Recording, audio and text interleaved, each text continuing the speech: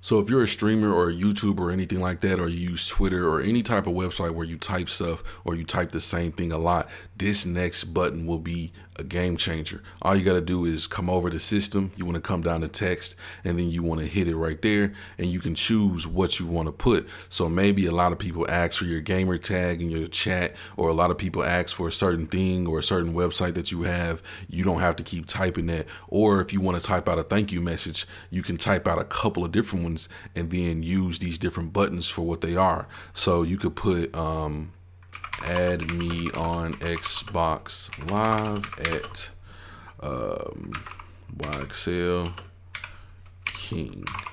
So if I wanted to put that, I could put GT for a gamer tag. Let me put that in all caps.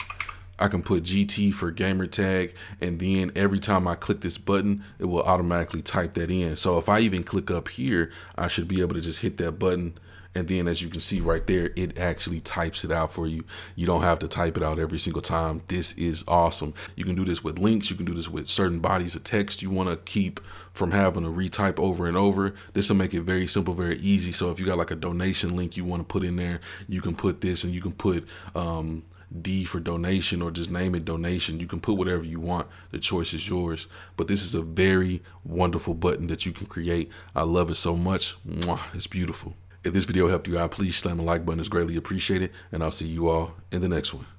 Peace.